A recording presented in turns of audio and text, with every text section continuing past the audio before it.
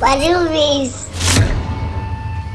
kaze mu kiganiro wari ubizi nk'uko mubizi ikiganiro ah, turi muri leta z'ubumwe za amerika mu state ya arizona mu gisagara ca phoenix ku badukurikiranye bwa mbere. Kaze muryango munini ah, twari tubakumbuye n'umunsi wundi uhoraho yaturemeye ngo tunezererwemo twumve ibyo imana yakoze. Ah, nk'uko mubizi ku biganiro bitandukanye bica muri wari ubizi ah, intumbero y'iki kiganiro ni ukugira ngo izina rya yesu kirisito rikomeze kwamamara mu mahanga yose cyane cyane abumva ururimi rwacu rw'ikirundi cyangwa ikinyarwanda.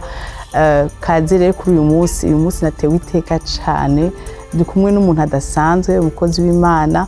Ah, nibaza yuko muza guhezagirwa cyane ku ntahe yiwe um, no ku bintu byinshi yagiye aracamo mu buzima. Ah, kaze rero muri iki kiganiro turabashimira abakomeza kutwandikira tukabona amamesaje yanyu kandi Uh, mukomeze mutwandikire uh, ari intahe mushaka gutanga. Nk'uko mwabibonye ubushize twarakoresheje abantu bari mu rwanda. Ubuhinga bwa none bwarateye imbere. Namwe aho muba muri hose mwotwandikira ku nimero ihora ica munsi mukatubwira mufite intahe yoshobora gu- gufasha abantu benshi. Imana rero ibahezagire kaze mu kiganiro cy'uyu munsi. Wari ubizi kaze rero mu kiganiro nagira ibibakwe ryo kwakira umuntu adasanzwe reka yidondore atubwire amazina yiwe. Ya mm, murakoze cyane. Mvuge ngo bon bu- munyite pasita de papa. Amazina yanjye ayandi arashobora kugorana. Ariko ah, izina abantu benshi bamenyereye. Ni pasita de papa ndubatse Wow. Ah, nkaba ndi umupasitori Mm, nagiriwe ubuntu n'imana Amen. Ikindi nkaba mfise abana bane. Eh, uyu munsi nyine kuri iyi tariki ndibuka n'iryo tariki umukobwa wanjye wa mbere yavukiye Oh, wow. Amen, Ah, amen. ya mfise abakobwa babiri n'abahungu babiri. Uwo ni wo muryango wanjye Wow. yego Wow. Turaryohewe cyane ah, kuba witabiriye ubutumire bwacu. Muri iki kiganiro cya wari ubizi um, nk'uko twabibwiye abo badukurikiranye turi muri uh, state ya arizona mu gisagara cya phoenix. Eh, iki kiganiro rero gifasha abantu benshi pasiteri yes. Hari abantu benshi turonka ama message y'abantu batubwira basuye mu nzira y'agakiza. Mm. um, amakupure yari agiye gusambura bakatubwira ko basuye kwiyunga. Mhm. Ah, abantu basura kubwira ati twasuye kugira inyota y'agakiza. Ah, ni ibintu bifasha imitima yacu. Bifasha imitima yacu kandi nibaza yuko ah, gukorera imana si ukuja hariya kuri podium umuntu avuga ubutumwa gusa ariko nibaza ko gukorera imana ni mu buryo butandukanye bwinshi cyane bivanye n'icyo umuntu imana yamuteretsemo. Rero rero kugira ngo du- dushobore kubandanya kino kiganiro buri gihe dutangurira twiragiza imana kugira ngo ntabe ari twebwe. Izina ry'imana rihabwe icubahiro iryo zina rya yesu kirisito ryamamare biciye mu byo muza kuvuga ntihabura babiri canke bangahe abo nabo tumenya ariko ariyo benshi bagenda kutwandikira nyuma y'amezi menshi tugira twarafashijwe na naka muduha nimero z'uyu muntu. Rero turasenga twiragiza imana kugira ngo mu byo muza gutanga hagire abantu baza gu- gufashwa. Ari abasubira mu nzira y'agakiza ari bari bantu ba- bari baradendebuke barabivuyemo bongere kuja muri iyo nzira. So abashitsi rero nibo basenga ntibaza karibu. Okay reka dusenge. Reka dusenge. Turagushimiye ubuntu bwawe mwami. Turagushimiye n'urukundo rwawe hagati yacu. Turagushimiye protection divine igendana natwe umunsi ku munsi. Reka muri uwo mwanya w'iki kiganiro kuko ukuboko kwawe si kugufi urashobora gukora ahantu hose mu mitima y'abantu bose. Reka wigaragaze muri uwo mwanya biciye muri iki kiganiro. Imitima ihembuke imitima ibona ubwiza bwawe. Urakoze muri uwo mwanya tugiye kumara hano. Ubane natwe. Utange nyinshi mu bibazo. Umwana w'umuntu ntacyo yokorera uwundi. Umwana w'umuntu. Keretse we mwemu yera. Urakoze yuko uri imana nziza. Ugiye kubikora mu izina rya yesu kirisito amen. Amen amen. Eh, none dutangura ikiganiro cacu um, wipresence muri pasteur de papa um, murubatse uh, mufise abana bane uh, abahungu babiri abakobwa babiri. Um, nta uvuka uri wenyene nashaka kubaza ku muryango wawe. Ya mbega di papa ninde mu majambo make wa- wakuze gute mm, mu majambo makeya nyene? Ya urakoze. Yego. Ah, urakoze kuri icyo kibazo. Jewe eh, navukiye mu muryango. Ah, urimo ah, ibintu byinshi cyane. Mm, ibintu byinshi cyane eh, navukiye mu muryango ah, ndi kumwe na mama. Mm, kumwe na mama ah, hanyuma mama inyuma yanjye abyara abandi mm, ba petit frere mm, n'aba petite sere mm, hanyuma navukiye ahantu hitwa i lubumbashi mm, nza ndi umwana muto. Mm, urira mu kamenge hanyuma ah, kuri mama mvukana mfise abahungu babiri mhm, n'abakobwa babiri bose barahari. Kuri kuri papa si si sinomenya nombre. ya hanyuma ah, ikindi ni uko nagiriwe ubuntu nkiri umwana muto. Ah, nkiri umwana muto nagiriwe ubuntu bwo kwakira agakiza. Ntangura sunday school mm, ah, mu ishengero ryitwa fekabu. Mm, ah, mu kamenge mm, mu kigwati. Mm, byarongowe n'umupasitori yaritabye imana yitwa ah, martin kibaka. mm, hamwe n'umupasitori acariho witwa pasiteri anatole mm, ni ho nakuriye muri korale y'abana bato twaririmba sunday school tugaca turirimba no mu ishengero rininiya mm, iyo bahamagaye korale y'abana tugaca turirimba twari abantu benshi cyane abana benshi mm, hanyuma ah, muri nonantuwa mm, habaye intambara mm, ah, ndahungira kandi muri congo.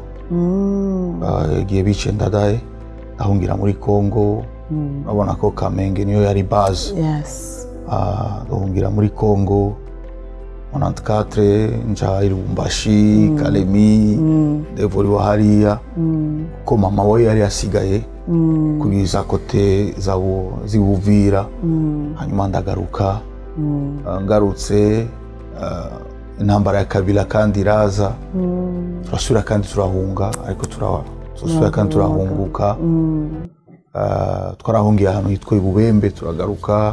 Hanyuma genda desida mm, gusubira kandi mu burundi. Eh, nsubiye mu burundi nashikiye muri eglise fekabu nyakabiga. Mm, Ah, ico gihe umupasitori yari eh, ah, nigayera françois. Mhm, Eh, ego. Ndashikira muri eglise hanyuma nakora cyane cyane muri ministeri yitwa eden. Mm, yarongorwa n'umupasitori witwa kashindi. Mm, eh, kashindi jean pierre mm, turakora hariya n'umumama yitwa felicite nibo bari abarongozi ndibaza felicite ari muri canada. Mm, Ah, hanyuma mu nyuma niho twahuye na apotre apollinaire wow, Eh, duhuye na apotre apollinaire Ah, ndinjira muri shemeza music. Mm, apres iminsi mike ni ho habaye ikibazo cya eglise vivante gutandukanya mm, Ah, twe turagenda muri eh, rohero. Mhm, ni ho natangiye gukora cyane. Mm, mu irohero ni ho natanguye eh, eh, groupe ya intercession. Mm, y'amasengesho. Chaque jeudi. Mm, turakora turakora cyane. Hanyuma nari muri worship team. Mm, ndongora intercession ya jeudi. Mm, amaveye turakora turakora.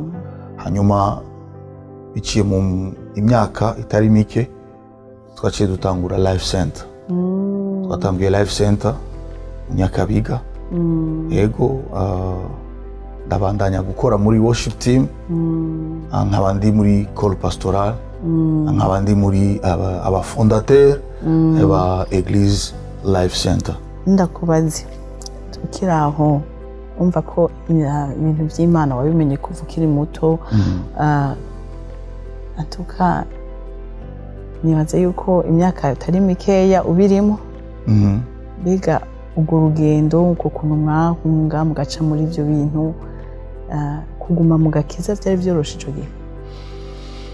Ah, novuga yuko ntibyari byoroshe udafashijwe na mwe yera Ah, akaza akakwibutsa icuri.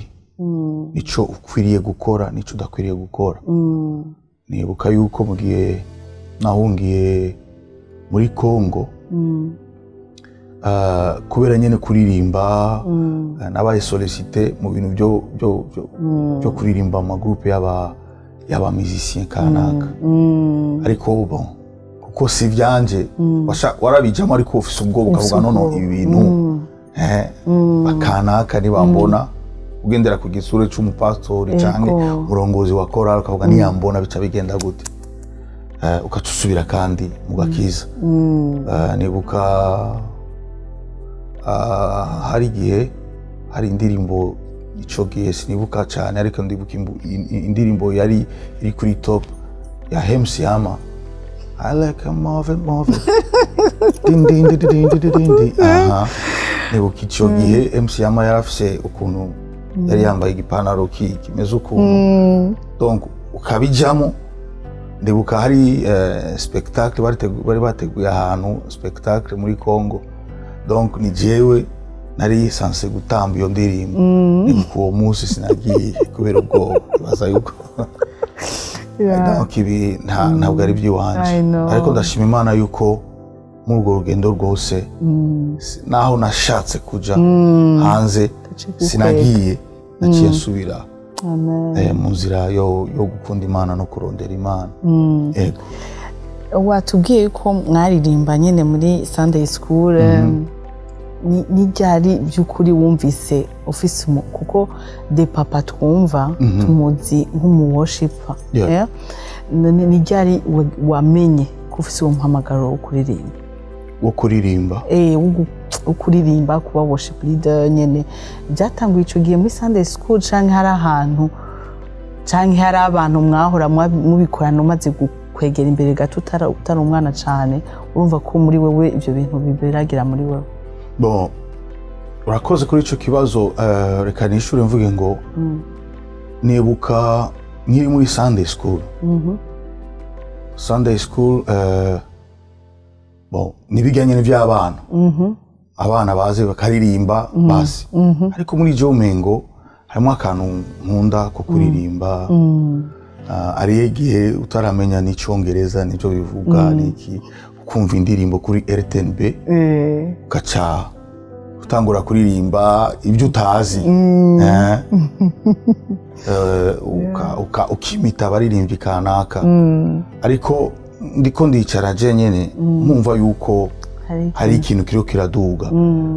Iyi image sinzofa ndayibagiye. Sinzi ko nari mfise imyaka namba ari imyaka indwi canke itandatu. Narigeze kugira carton. Ah, n'urusinga nkarucomeka ah, nkarucomeka nyene kuri carton. Hanyuma ah, narafashe ikopo ya nido. Ndacomeka urusinga. Donc irya kopo ya nido ihinduka uvuze rwego nka din din din din Wow. kumva nk'igitari ariko wumva ko mfise ikintu cyo kuririmba. Ya. Narabikunda ariko kugira ngo mfate neza umurongo neza eh, wo kumenya yuko ndafise umuhamagaro wo kuba worship leader ni mu gihe nahungiye muri Congo. Iyo- igihe kimwe bamaye indirimbo ndirimba ah, ne- nyene bijya bavuga ngo ebana reka dusabe kanaka aze aririmbe. Ico gihe nibuka ah, hari umu bishop umwe yitwa bishop mutamba yarigeze kumpamagara ambwira ngo ririmba indirimbo donc uririmbe louange na adoration uwo munsi ndaririmba ndaririmba ebana amahopa ndaririmba nyine twavuze izi ngoma z'amaboko kuko naravuza n'ingoma ndazi kuvuza ingoma y'amaboko ngira opa kabisa ariko dimanshi ikurikira aransubiza kandi aravuga ngo uraza gusubira kandi kuririmba. Ariko imbere yanjye hari uwundi muririmbyi ariko araririmba. Nca ndadugira ngaho. Nibuka naririmbye indirimbo ivuga ngo natondiyo nkolo. Haleluya naciye ndabishobora uwo munsi bica biragira ko. Eh, kuva ico gihe nagira ishaka ryo gukunda kuririmba kumviriza indirimbo zaba ico gihe yari yitwa ngo rino mvumbi ariko ubu ni rino moyo. Eh, indirimbo z'abaririmbyi batandukanye bo muri Kongo eh, bakamfasha ya gukuza ikintu cyari muri jewe. Yego. Wow. Eh, birakomeye. Ah, watubwiye ko wumvise umuhamagaro wo kuririmba kumva urwo rugendo tubwiye ah, numva ari ibintu byiza cyane watubwiye ko mwagarutse ah, mwaje i burundi ugakorera imana cyane ahantu watangiye kwinjira yari muri yo. Minisitiri ya eden na, na life center yo mutangura life center bya intercession biki um, mbega ko unye tukuzi nka pasteur de papa. Iby'umuhamagaro w'ubupasiteri byaje gute kugira ngo umenye ko ufite uwo muhamagaro? Ya uh, uwo muhamagaro nakubwiye yuko uh, ari igihe nafashe nafashe uh, carton. N'urutsinga nshira kuri ko- ku ikopo rya nido ntangura nko kuvuza gitari nkaririmba. Uh, ikindi o, nuwomenya imbere uri wewe wenyene ukiri umwana muto. Nibuka igihe bonke bonke yaza mu burundi kuri ku kibuga ca ETS apres yuko bonke agenda twari dufise iradiyo sinzi. Abavyibuka baravyibuka ari amaradiyo kera yarafise amabafure n'amamikrofone ya rouge. Ego eh, iyo radiyo twari tuyifise muhira hanyuma ah, nimba ndi jenyene canke ndi kumwe na mama abandi badahari nari nzi ngiri ncomeka mikrofone kagatangura kwigisha nkaca tangura kwimita bonke uko yigisha pupa pe kapo. Ariko sinzi iyo ndiko ndavuga ariko ndabona umengo ndiko ndigisha mu congereza ariko nsubiye ku, kibazo ndakwishure.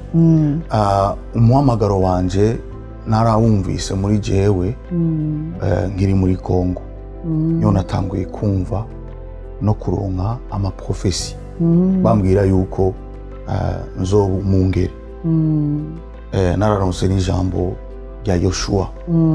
Niwa medita ku ijambo ryanje ku mutaga no ku murango no mu ijoro ibyawe bizogenda neza. Ah, nararonse n'ama message atandukanye. Ndetse na confirmation no mu bantu dukorana.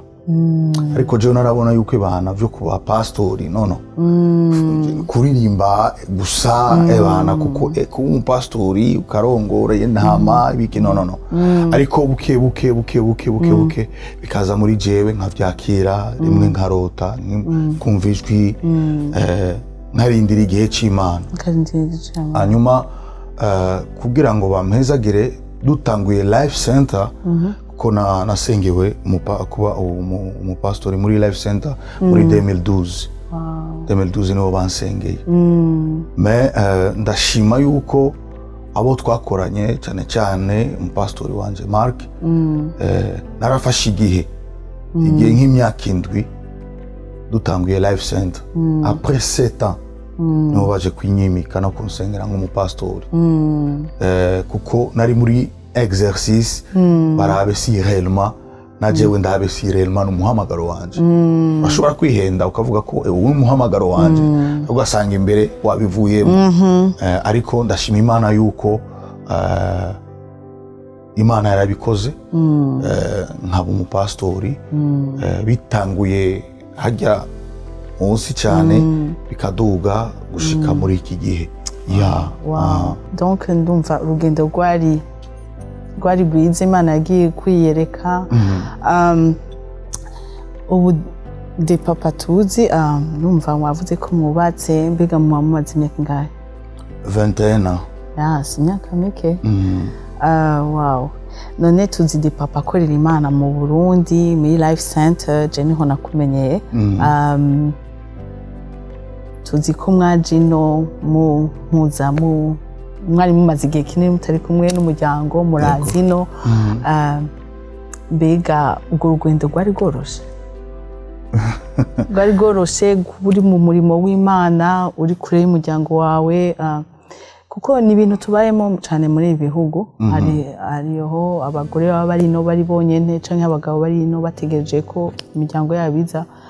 Ni igiki nyine ubwo babwira gato kuri urwo rugendo mu majambo make unabafortifiya eh? ya okay Mm, Ya. urakoze cyane Eh, vraiment urwo rugendo si urugendo rworoshye ya eh, nasengewe kuba umupasitori muri 2012 Eh, fin 2012 muri août ni ho nasengewe yari muri anniversaire ya 7 ans ya eglise ya life center. Wow. hanyuma en 2013 mai le 15 mai madame n'abana baza muri amerika. Uh, hanyuma ukaraba madamu aragiye ukaba usigare usigaye uri we wewe wenyine. Uh, ari ijambo uh, pastor mark akunda kuvuga cyane kuri podium. Avuga ngo eh, ngo jewe ndakunda sinkunda ko abantu bagenda donc abantu batandukanya n'abadamu babo cyangwa n'aba- n'aba- n'aba- n'abagabo babo Eh, ndi- ndibaza yuko nawe yaciye aca muri bateme kuko umuntu yari as- assistant wiwe. Cyangwa icegera ciwe eh, ni we byaciye bibako. Madamu aragenda je nasigaye dj nyine Eh, si urugendo rworoshe Eh, cyari igihe gikomeye cyane uhagaze imbere y'abantu uririmba urongora louange na adoration wigisha urongora intama cyari igihe gikomeye kuri jewe kandi cyari igihe cy'inyigisho no kumenya ibihe bimwe bimwe. Kumbure ntari kumenya ndi kumwe na madamu no kubaho muri yindi experience. Eh, eh, kumbure sinari kuba muri experience ndi kumwe na madamu Eh, no kuca canke kwinjira mu ishuri. Eh, iyo ntari kwinjira ndi kumwe na madamu sasa ivyo bihe byose ubu nobishimira imana. Amen. Kuko eh, nk'umukozi w'imana ah, ntibyoroshe gushika naho ndibuka igihe kimwe ah, ngiye kuri pafe ndi kumwe na apotre elijah. Mu modoka ndi kumwe jewe na apotre elijah na pastor mark. Apotre elijah arambaza arambwira ngo eh, nikihe kintu wohanura? Ah, abantu cyangwa abakozi b'imana gutandukana n'abadamu babo cyangwa n'aba naciye ndamwishyura ndamubwira ngo sinohanura umukozi w'imana atandukanye na famiye yiwe kuko ni igihe mvuge ngo ni igihe cyiza kandi ni igihe kibi. Ni igihe cyiza mu gihe imana ishaka kukwigisha no kugukomeza mu kintu kanaka. Ariko ni igihe kibi mu gihe wakira eh, eh, imyami. Mu gihe wakira ibintu bi- bi- bitoroshe kuri wewe eh, ariko mwe muyera akagufasha kuri icyo gihe. Ya si igihe cyoroshye. Kuko nara hano sinambara nyinshi.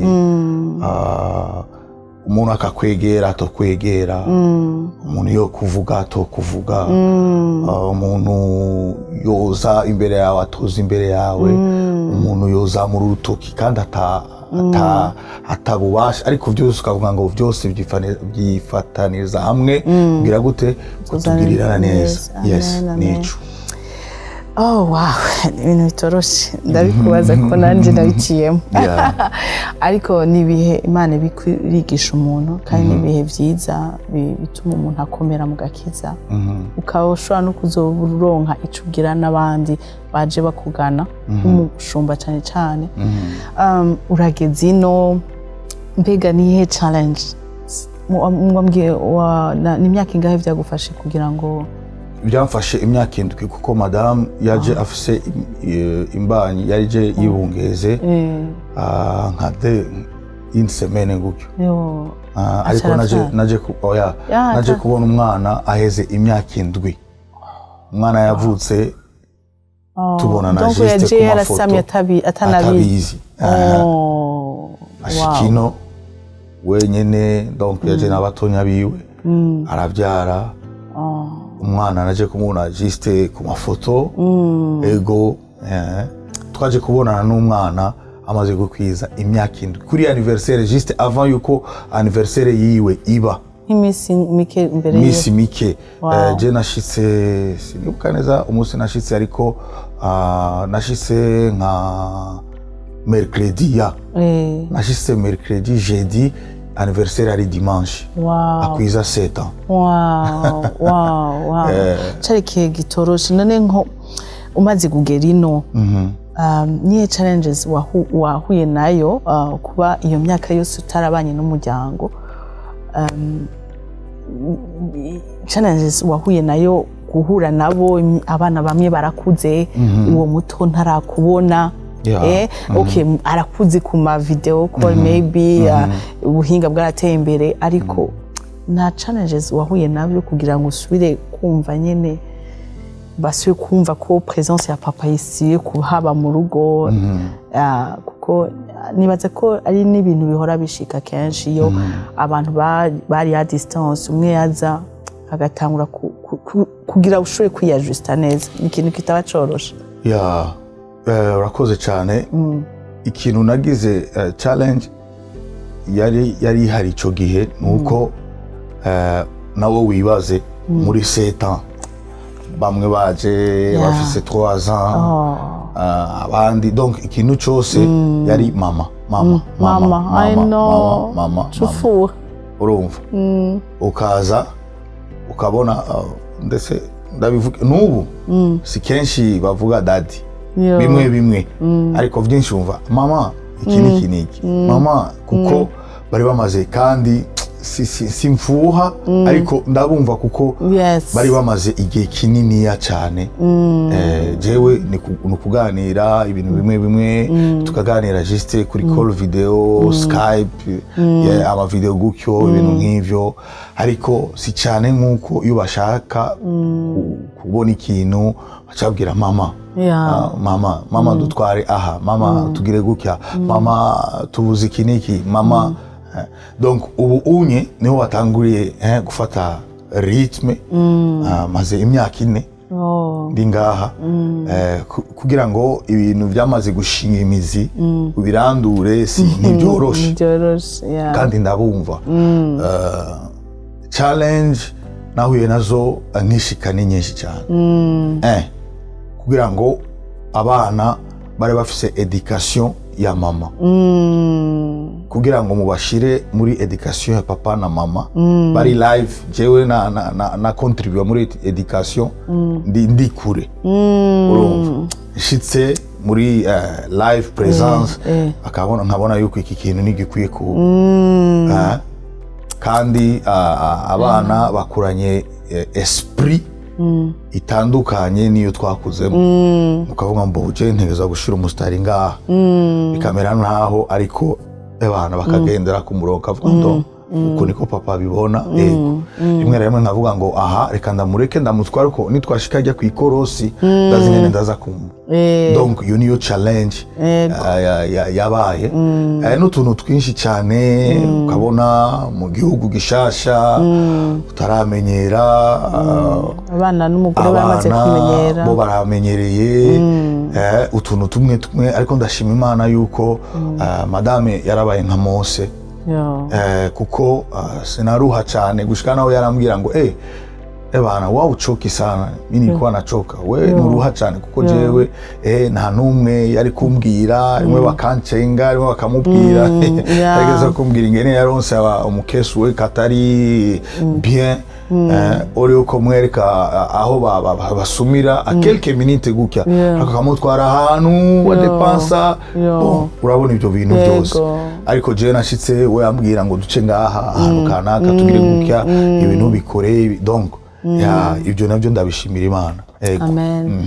Je numva ari kwari nko kuzuzanya. Umva wewe um, wewe waritanze hariya anye kuko hari ibyo imana yakwigishije byinshi. Um, kumbura araho kure cyane imana yakugejeje mu buryo bw'umwuka nawe akubera nk'amaboko aza hano kugira Yes. muzokuzuzanye ntibizogire ari cyo kibazo ngiye ku- kukubaza cy'umuhamagaro kuba uri umupasiteri ubunye wa- umva uko wakorera imana i burundi ugeze ino ntiwahuye na challenges ni- zo mu muhamagaro wawe imana yaguhaye w'ubupasiteri kuko urabona wari umenyereye egirize wari urimo wari umaze igihe kinini. Mbega byari byoroshye kugira uronke caci ino byari byoroshye kugira ngo ushobore gukorera imana nk'uko yayikorera hariya aya ya ndashima imana yuko nk'uko nari nabivuze mu burundi eh, narakorera imana nari atample nk'umwungere mu ishengero. Ariko ndashima imana kuko ah, n'umupasitori twakorana ah, umupasitori wanje pastor mark. Mu gihe cyose ndonse invitation yo kujya kwigisha hanze nara- narasohoka nkagenda mu yandi mashengero mu biko- mu bikorane muri congo hehe kenya hanze nkigisha asubira kandi mu- rushengero. Naramenye ingene ni porogaramu ibyo na byo byaramfashije yari inzira imana iriko irategura kugira ngo ninaza ngaha menye ingene zo kwikomporta Ego. Ah, muri amerika nashitse eh, madamu anyereka amashengero. Muri iyo ville kuko nashikiye muri floride orlando. Aranyereka amashengero amwe amwe. Ndavuga ndaza kwiyadapta kuko ndazi ingene nasanzwe nkora. Eh, nca ntangura gukora skize nca ntangura gukora mu ishengero kanaka eh, ry'umupasitori umwe. Bon, turakorana turafashanya nyine ariko mu nyuma kuko jewe ndafise ikintu navuganye n'imana. Ico kintu ntegereza ku- kugifata cyane no kukigendera. Ya hanyuma ah, ntangura gusohoka. Ntangura gusohoka.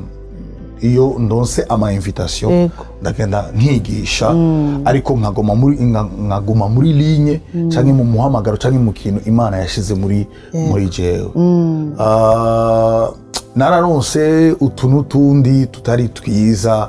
Ah, ariko biratangaza. Biratangaza kubona reka nda- ndaki- ndakivuge kubona abakozi b'imana vrema kumva ufite ishari ku ku wundi mukozi w'imana. Kubera bafite ingabire kanaka eh, ugasanga uciye inyuma ukavuga abana eh, ndibuka igihe kimwe bageze ku ah, ishengero x. Kuvuga ngo baricara bavuga eh ujya mupastori mumuhe podium. Kuni yaguma yigisha cyane azobatwara abakristo. No no. Ah, uwo mutima suko narezwe jewe. Suko narezwe eh, ndashobora kwishingira intaye cyangwa aka- abantu bakabaza nta na- nta hantu na hamwe. Je mfitaniye amatati n'abakozi b'imana. No no. Eh, ariko mfise abafitanye ama- ama- amatati na jewe. Ariko jewe n'abandi no no. Kubera petetre nda- ndafise ingabire zanje ushobora kumvisha ukavuga ngo ewe uriya muntu kubera iki ameze kuriya? Eh, ariko ndazi imana yarampaye umutima wo kubana n'abantu. Nkamenya ngene metriza Eh, babaze pastor mark. Bashobora kubabwira ujya ameze uku nuku nuku nuku nuku. Babaze apotre apolinaire barashobora ashobora kubabwira ujya ameze uku nuku. Kuko nibo twakoranye imyaka myinshi cyane. Sinzi yuko umutima woza wo gusambura ishengero eh, ndakunda kubaka. Ndakunda gushigikira ama ministry y'abandi aya mashengero yose nimba maze kugendera mu mashengero menshi ndi muri Etazini si amashengero natanguje oya ni abantu tuzinanye ni abantu dukorana ni abantu twakoranye ni abantu bazi umuhamagaro muri jewe eh, nka- nk'abashigikira. Ariko ndazi yuko umunsi eh, umunsi umwe uhoraho icyo yashyize muri jewe azokigaragaza.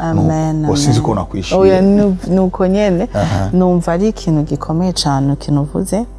Ya imana iguhezagire Ah, hari akandi kantu numva ni ukubaza Mm, ibintu by'umuhamagaro ni ikintu gikomeye. Urabona umaze gushika muri iki gihugu umaze kumenyera nk'ubu uramaze kumenyera ni gute ababyeyi bofasha kuko wumva mu- we wa- warabikuriyemo um, uramenya ingabire iri muri wewe biki hari abantu bakwankurajije kuko ntiwagiye muri eglise bagatangura kuguha indirimbo urongore.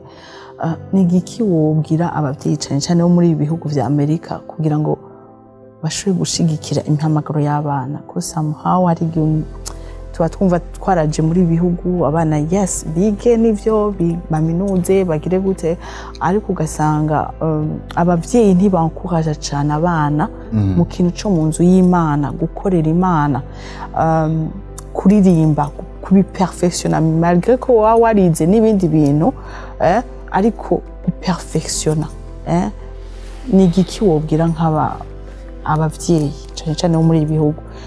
Bankuraje abana babo guperfectiona ibintu byo mu nzu y'imana kuririmba cyane cyane ku kintu kijyanye no kuririmbira imana. Ya ijambo ry'imana rivuga ngo eh, uko urera umwana niko akura. Hariho irindi jambo rivuga si, si ijambo ry'imana ariko ni ijambo rizwi cyane mu kirundi rivuga ngo igiti kiguze gute? Kikiri gito? Eh, igiti kigororwa kikiri gito.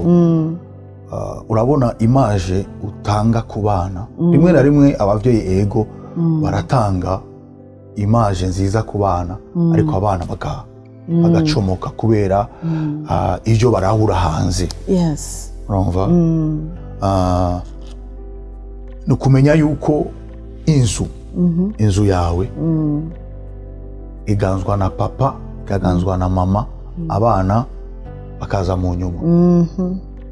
Paulo abwira timoteo nimba umuntu ashaka kuba umukozi w'imana mwiza umudiyakoni umupasitori sinzi cyangwa umurongozi w'ishengero ikintu cya mbere abanze kwanza agire urugo rwiza kandi eh, agire eh, edikasiyo nziza edike abana. Kuko umuryango wiwe w'abantu batandatu ntushobora iyo umunaniye ntashobora kumetereza ishengero cyangwa abantu ijana amajana bari hanze. Donc eh, nta buhinga nashizemo. Ni ubuntu bw'imana no gusenga imana no gukora kwereka abana ijambo rirambwira ngo igihe kimwe eh, igihe kimwe yakobo yari kuri labani ashaka gutandukana na, labani eh, yakobo afata ashyira ibiti mu mazi. Aravuga ngo inka ziza kunywa amazi eh, iyo zivyaye zikavyarana vi- zifise amabara atandukanye nizo ziba kuba inka zanje. urumva ni ugukureya imaje kanaka iyo abana bakura babona. Bamaze gukura kijya kintu kirinjira muri bo. Eh, nk'ubu par exemple babonye mu nzu hata amahoro ah, donc ni musenga. Nk'ubu nka jewe. Eh, si cyane ndongora amasengesho mu nzu yanje. Abana nibo barongora amasengesho mu nzu. Abana nibo ndashobora kuvuga ngo turafise porogaramu y'amasengesho y'iminsi ibiri kandi nta mwana avuga ngo eba papa urabona ah." bose bakaba bazi yuko turafise amasengesho y'iminsi itatu. Turaza kwikomporta uku unyi turaza gukora uku unyi.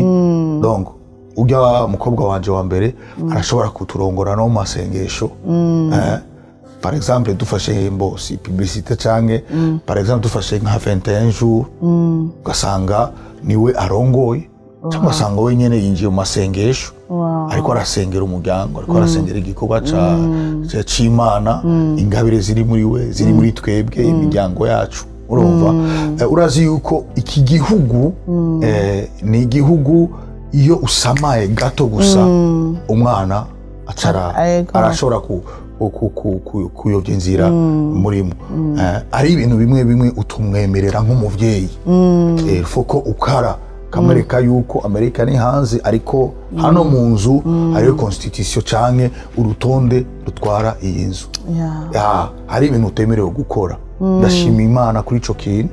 Abana banje ari igihe bambaza dadi ndashobora gukora ikintu ndamubwira no no no no twebwe nk'abantu dukijijwe. Twebwe nk'abantu twemera uko je nakuze nuko ijambo ry'imana ribwira ibi bintu sivyo bakakura bamenya ico nimba ari ikibazo bafise barashobora kumbaza. Eh dadi iki kintu kimeze uku n'uku n'uku? Kivuga kwiki abwira nono ijambo ry'imana ritubwira yuko iki kintu si cyo. Naho bamwe bacemera reka bo bemera icyo kintu. Ariko twebwe yego icyo ni cyo kidufasha mu kurera n'amasengesho. Sivuga ngo abandi ntibasenga barasenga. Ariko hari ubuntu bw'imana na responsabilite yawe ku bana n'ingene muvugana na- n'abana bawe Ah, icyo kintu ni ikintu gikomeye cyane imana iguhezagire burama nibaza yuko um, turi tugana ku musozo w'ikiganiro. Ni igiki um, wabwira um, nk'imiryango itegereje batarahura n'ababo bamaze imyaka myinshi? Umwe umwe amaze imyaka indwi? Mhm. hari ababa bamaze imyaka icumi? Nzi. Mhm. bamaze nk'imyaka icumi. Mhm. ni igiki umu- umuremesha umubwira? Abandi bantu ushaka kuvugana nabo n'abantu mm, baba bakora imana muri bihugu vya afurika tuvamo. Ni igiki yoza um, uwo mubwira kugira aze yiteguye kugira kubera hari bamwe tuba tuzi barakorera imana mu- muri afurika ariko bageze ino bagapunga ikigo. Mhm. ni igiki wababwira uh, kubafasha? Kuko de papa nzi hariya anye ahubwo mbona yariyongereye hano hari amavuta yiyongereye. Ni igiki wababwira kugira bazoze biteguye? Kuko um, hari abo imana ikizana. Abo bantu i- a- ikategori z'abantu babiri ico ubabwiye tugana ku musozi w'ikiganiro. Ya murakoze cyane. Eh, reka nishure eh, mvuga ngo ah, ari akantu wambajije ku byerekeye gushyira abana mu bi- mu bikorwa kuririmba. Ah, nibaza yuko umubyeyi ni we ategereza kumenya ingabire y'umwana wiwe. Akamwankuraje. Ndafise uriya mukobwa wanje wa mbere. Ndazi uko imbere ico azoba. Hano umu interprete arakunda ijambo arasenga. Ndo ndashobora kumuraba nkabona uyu azoba iki n'iki n'iki. Ngaca ndamupushinga muri ico kintu. Ndafise ujya muhungu wanje wa nyuma. Arakunda kuririmba arakunda kuvuza bateri ikintu ca miziki ari indirimbo uh, indirimbo zimwe zimwe. Izoje ntaranzi ijo i- indirimbo zimwe kumbure ntazi no kuririmba canke abamiziye kanaka. Nazimenye biciye kuri we. Arashobora kuririmba arashobora kuba ariko arumvira izi ndirimbo. Mm. hariho uh, shene imwe ya yitwa uh, uh, G Praise. Iyo shene nayikunze kubera kubera urya mwana. Wow. Yakunda kuririmba indirimbo ziri muri iyo shene ndashobora kuba ndi ku kazi nkashira ama ekuteri nkashiramo irya G Praise ikamfasha. Biciye kuri urya mwana muto. Ntubone yuko uri umuvyeyi ni wowe ubizi byose n'umwana ingene umureze arashobora kugufasha. Ari abaririmbyi benshi nzi kubera urya mwana. Urya mwana arazi kuririmba indirimbo z'ingara wow. z'ikiruba kasayi iki- kirundi i- indirimbo ataranabaye. Atarashika muri no muri afurika wow. Eh, yigeze kuririmba indirimbo imwe yo mu kirundi abantu bose baratangara. Benye ni n'indirimbo. Baramwa- ntibari bazi ko ari umwana wanje. Bararekipera bashira karya ka video mama we yari yashize namba ari kuri tiktok cyangwa kuri instagram barakarekipera mu nyuma baraza kubaza eh n'umwana wa pasteur de papa? Wow. Mama we arababwira ego. Donc si ukuvuga ngo uri umupasitori utuza kubyara abana bari perfect. No no. Bivana n'ingene ubarera n'ingene ubapusha mu eh, urya muhungu wanje nawe arafise ivyiwe akunda urya wundi mukobwa nawe arafise ivyiwe akunda kandi aheze nk'indwi zitatu ndababatije wow. Sinabaforje nawe bwira ngo, muteguza kubatsa ah ah babanje kwanza kubitahura no kumenya no gufata umwanya. Turafata umwanya wo kuganira ijambo ry'imana. Barambwira ndababwira umunsi muzoba muri pre muze mumbwire je ndi tayari wow baje barambwira ngo dadi turumva yuko igihe kirageze yuko tubatiza ndababatiza bivana n'ingene urera abantu Ah, yanishura kuri ah, c'abantu bategereje amafamiye yabo urazi ikintu kitwisha kitwica nuko ah, ku, ku, ku, ku, ku, gushiduka Ah, munyemerere bwire abantu bari bari muri afurika bariko baraza. Nta kintu gihambaye kiri ngaha muri muri leta zimwe nta kintu gikomeye eh, mvuge nta kintu kumbure uvuye eh, sinzi ahantu uva canke eh, ariko nta kintu cutuma ushiduka utakaza agakiza uvuga ngo ndahevye oya bo kumbure muri afurika warakora nturonka amahera ukwezi ariko ngaha bahemba apres deux semaines cyangwa apres une semaine akaba yinjiye muri konti yawe kandi uko aza niko uyadepansa Eh, aje ari igihumbi. Ke- si- si- si- ni ahantu ndabona kugira ngo ubeho neza ni ahantu woriha inzu y'igihumbi. Ngaha muri etazini house oya. Donc urumva ntushiduke ntushiduke. Kandi ikintu kimwe ube umwizigigwa imbere y'imana. Eh, ntuze ufise target uvuga ngo ah reka ninashika hariya nzomwereka nzohinduka. Kuko ingo nyinshi cyane eh, nimba ari ibibazo dufise moment ni abantu tuza muri afurika je nararavye eh, uko banditse baravuga ngo abantu baza aba- abaje bava muri afurika surtout grand lac. Hari amakaye amadivorce menshi cyane. Kaza divorce ni nyinshi cyane. Ugasanga abadamu baje iminsi mike pa. Abagabo baje iminsi mike kuko inzoga zirazimbye eh, zirazimbutse eh, ibiki donc life gaca reka reka ngi iraha eh, reka niyatrape. Ibyo ntakoze mu burundi ibyo ntakoze muri congo ibyo nakoze. Reka ndabikora ubu unyi sasa. Eh, urumva amadeni hirya nino eh, abantu habaho nko gupizana kanaka yagize gutya. Reka naje oya ubwo si ubuzima.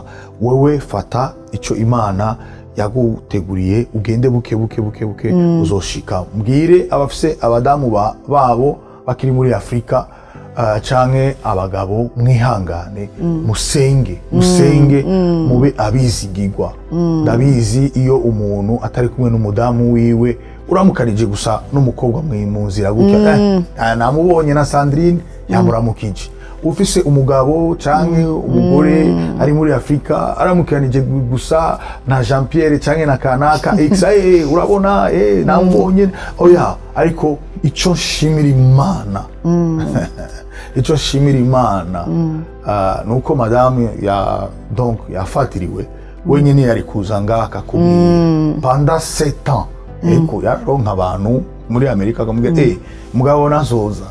Eh, je nararonse n'abafo profete eh. Bambwira yuko wewe na madamu wawe nimuzosubira kandi guhura harabaye divorce yarabaye gutya harabaye ariko umunsi naza naciye menya yuko ubwizigirwa burakenewe. Ego nibisho ni donc hari igihe ukwegwa ari- ariko ukamenya yuko mana mfasha mfasha mfasha eh, ubwizigirwa. Madamu wanje yari afise discipline. Gushika no biracamugora kuko namusanze mu myaka indwi ntihari umuntu wo kuja mu bantu cyane. Wo kuja mu bi- mu- mu- mu birori.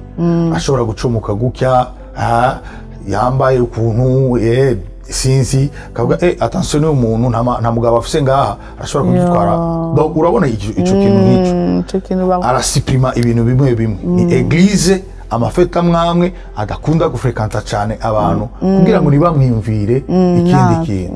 N'ubu biramugoye kugira ngo bira- biramugora. Tujye ahantu dukore biramugora kuko si ibintu yamenyereye cyane eh, yari we n'abana no ku ishengero. Mu marandevu mu nzu. Mu marandevu. Twavugana nawe mu gitondo avuye ku kazi. Donc umwanya wose ni kuri telefone je nawe je nawe je nawe je nawe. Donc mube abizigigwa mukunda abagabo banyu mukunda abafasha banyu b'abadamu mube eh, connected. Kandi abadamu bo muri Afri bo muri Afrika eh, canke abadamu bari eh, ngaha i Burayi canke abagabo bari muri Afrika reka mvuge cyane cyane abadamu bari, muri Afrika canke abagabo bari muri Afrika bataraza. Eh, ubuzima ino si ubuzima bworoshe. Si ubuzima bworoshe usaba yuko umuntu yihangana agakora arashobora kwiyima kugira ngo ntimubaze yuko ari igiti ngaha tugenda tuga oya nta gihari. Cy'amadolari oya abantu barakora. Baba barakora barashobora kuraba income yawe kugira ngo batume wewe uza umugabo canke abana canke eh, umudamu bakaca babona yuko mm, mm, ntibishoboka. Akaba oblige gukora ubuzi bubiri. Eh, nta mafuteri yo kurira mu modoka si umuntu wese anezerwa no gufungurira afungurira mu modoka. Ni ukugira ngo yitange atange sacrifice umuryango wiwe uze ngaha sasa ikintu nobatekerera kwihangana no kuba umwizigirwa imbere y'imana n'imbere y'umufasha wawe. Nico amen amen. Imana iguhezagire pasita ibi bintu birakomeye. Iyo umuntu yabivuyemo um, nk'abantu ariko barakumva babona ari ibintu bisanzwe. Ariko uburemere bw'ikintu ni ubu arabicamo kano kanya? Yes. Ah, iyo uzi icyo waciyemo ni wowe ushobora kumva uburemere cyangwa undi ariko uragicamo. Ah, ku bw'ibyo durangiza kino kiganiro cacu numva twoha opportunity abantu bari kuhadukurikira kwanza ijya mbere abantu batarakira agakiza. Ama- isengesho ryo kwa- kwatuza abantu. Kuko nico niyo mpamvu iki kiganiro gihari. Um, hari igihe n'umuntu ashobora kuba atari ko araca no muri ibi mwavuze ariko akumva iyo ukuntu mwabivuze akumva arakozweho. So akihana. Uwundi muntu wa kabiri numva wosengera ni umuntu ashobora kuba ari muri ubwo buzima. Ariko yaradendebukiwe agashyira hasi nk'iby'urugo rwiwe birabaho. Kandi n'ibisanzwe ariko igikuru ni uko utahura ko iyo desiziyo wafashe atari nziza. Gusengera uwo muntu asubire abyuke yatangiye kwiyumvira buriya ko ari imyaka cumi reka ashake ndamureke abeho ubuzima bwiwe nanjye mbeho ubuzima ngahanye. Usengera abo bantu bari kwaca muri ibyo bihe. Yego. imana iguhezagire ya reka ndangize mvuga ngo ah, mbere ko dusenga reka mvuge ngo habe kwihangana habe gukunda imana habe ubwizigirwa. Ah, ikindi navuga yuko ah, destin yawe niyo ntambara yawe ahantu uri kuraja canke ahantu muri ko muraja niyo ntambara yanyu. Kuko iyo uri kuriruka muri abantu benshi. Uragira effort kugira ngo ube uwa mbere mu bantu benshi. Kandi ahantu muri ko muraja ni wewe umetereza souffle yawe. Uko uyikoresha kugira ngo niwashika ahantu kanaka uzi ngene ukoresha souffle yawe kugira ngo wiruke ushike kuri. urumva hasa aho uri kuraja urashobora kumva akantu gato karagukubise nturabe ako kantu. Ndakunda ijambo ry'imana rivuga ngo eh, eh, igihe kimwe eh, imana ibwira mose ngo fata eh, inzoka y'umuringa hejuru. Ushire hejuru. abantu benshi barabaye pike ni- n'inzoka. Ariko imana ibwira mose uza kuraba inzoka ntaza gukira. Ariko uzohanga amaso uhanga amaso hariya araza gukira. Naho bibabaje naho wumva yuko bitameze neza ah, wowe raba ahantu uri kuraja destin. Eh, aho uri kuraja destin yawe. Eh, ufate uhanga amaso yawe imana urabe imbere hanyuma imana iraza kugufasha.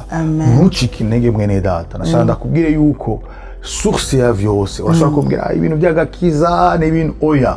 Akira yesu mu buzima bwawe akira kristo mu buzima bwawe umuhe ikibanza cya mbere hanyuma urekure umubwire ngo ndakwirekuriye ndakwihaye. Ndongura uko ushaka azogushikana aho ushaka gushika. Urashobora gupanga ko wowe wishikana ariko dushobozwa byose nuduha inkomezi. Aho tugeze uno munsi naho turi ko turajya ntabwo ari inkomezi zacu. Ariko uhoraho mwe mu yera niwe adufasha ico kintu numva Amen, hanyuma abantu bariko baradukurikira. Ngira ndagusengere. Ndagusengere yuko aho uri hose ibyo uri kuracamo byose fondasiyo ya mbere ni kristo. Eh, ndakunda ah, ah, aka- akantu agaparti gato eh, eh, ko ko mu indirimbo z'ikirundi kavuga ngo naho isegenya yoza inkukura ikagira gute? Umuyaga uhuhuse hirya n'ino eh, nibutse yuko ataco nzoba kuko shinzwe Ku rutare. shinzwe ku rutare sasa bivana n'aho ushinzwe. Urashobora kuba uri ku musenyi ariko uze muri kristo yesu. Uri muri kristo yesu. Sinovuga yuko bitoza. Byoza birashobora kuza. Ariko bigusanga uri mu kibanza cyiza uri muri sekirite muri kristo yesu. Uri muri sekirite muri kristo yesu nta kibazo ntaco uzoba kuko uhoraho ari mu ruhande rwawe. Reka dusenge. mwami yesu turagushimiye aba bene data bashoboye kudukurikirana uno munsi. Mu bihugu bitandukanye mu bihe bitandukanye umwe wese akabitahura bivanye n'uko cyangwa cyangwa bivanye na situwasiyo ariko aracamo. Ndasenze kuri uno mugoroba cyanke muri kino gitondo canke muri iri joro cyangwa bivanye n'amasaha cyanke bivanye n'isaha za kurabira kino eh, kiganiro. Reka ukuboko kwawe gukore kuri uwo muryango umuryango watandukanye imyaka amezi am- imyaka cumi indwi umwe. Reka mwami uko washoboje kumpuza n'umuryango wanje ubahuze mu izina rya yesu kirisito amen. Muri iyi nzu yaravuze ngo kuko wewe uca inzira mu bugaragwa reka uce inzira mu bugaragwa. Iyo washyitse mu bugaragwa ubamara inyota. Mu izina rya yesu kirisito kugira ngo bashyire izina ryawe hejuru. Reka ugirire neza ubwoko bwawe. Abatarakwakira mwami yesu aka ni keza. Ndavuze ngo aho bari hose bavuge ngo mwami yesu ndaguhaye ubuzima bwanje. Ngwino ubuganze. Ndaguhaye ikibanza cya mbere mu mutima wanje. Urongore ubuzima bwanje. Ndakwakiriye.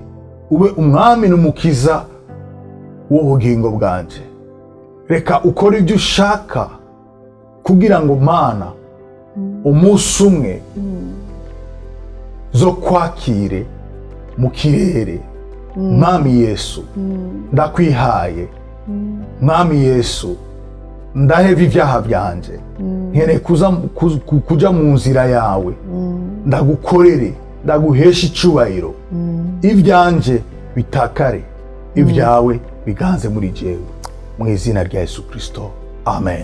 Amen amen. Murakoze cyane pasteur de papa. Murakoze yari nawe umunezero cyane kubana namwe kuri iyi Yego. nibaza yuko nimwongera kugaruka hano tuzo- nitwabakura muzo kwemera ubutumire bwacu. Murakoze cyane. Ya, kuba dukurikiranye mu kiganiro cy'uyu munsi nizere ko mwafashijwe kandi ntimuhushe kano karyo kuko aho bizingiye ho- co- hose urufatiro ni kirisito nta, kindi nta wundi muntu yogushoboza gu- kurengana no guhagarara no kugira ubushizi bw'amanga y'ibyo ibintu biri kuracamo imana ibahezagire aho mwadukurikiranye bose abari muri afurika europe aziya aho muri hose ni ukuri turabashimira. Mukomeze mutwandikire abafite intahe abazofashwa n'iyi ntahe abakeneye nimero y'uyu mukozi w'imana twari kumwe pasteur de papa mutwandikire. Imana ibahezagire.